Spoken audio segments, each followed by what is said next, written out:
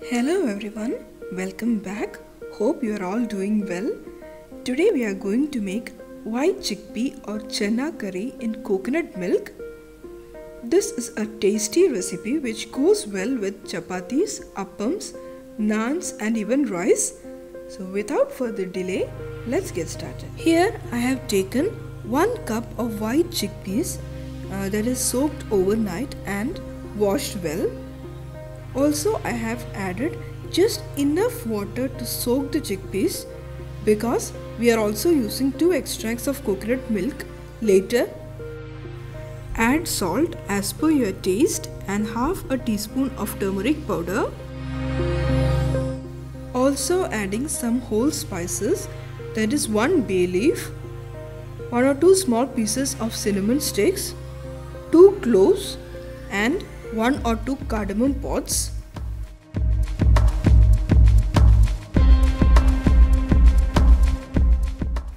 Keeping it in low flame for 3 to 4 whistles or until it is done.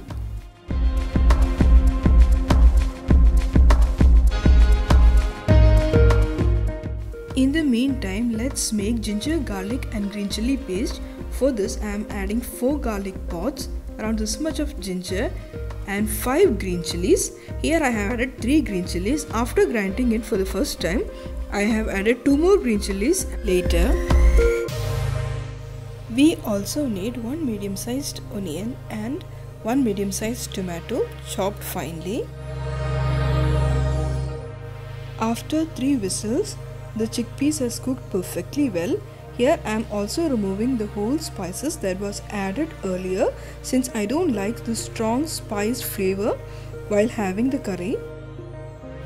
Into the pan, add 1 to 2 teaspoons of oil. Here I am using coconut oil. Add around half a tablespoon of mustard seeds.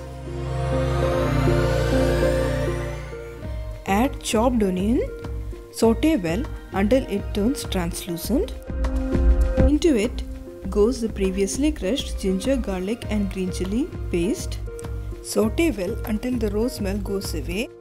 Add one and a half teaspoon of coriander powder. In this recipe I am not using red chili powder. I am adjusting the spice level with uh, green chilies and pepper powder.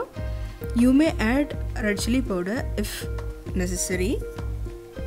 Add 1 teaspoon of cumin powder, half a teaspoon of pepper powder, adding chopped tomatoes. Saute well until the tomatoes turn mushy. If needed, add some water to deglaze the pan. Into it goes 1 mug of second and third extract of coconut milk. Give it a quick mix. Now adding the previously cooked chickpeas. When I tasted salt was less so hence adding some salt and kasuri methi. Let it cook with the lid open until the gravy gets reduced.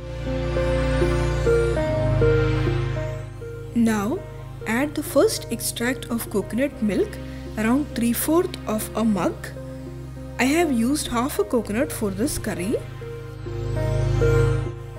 Into it add half a teaspoon of garam masala powder. Give it a good mix. To make the gravy a bit more thicker, I am adding 15 to 20 almonds blended into a paste with some water. Cashew nuts may also be used. I have soaked the almonds in hot water for 15 minutes and peel the skin off. Once the gravy starts to boil, switch off the flame and add some coriander leaves. I forgot to shoot that video by mistake. Now the gravy is ready to be served. I had it with rice. See you soon with another video. Till then, take care. Bye bye.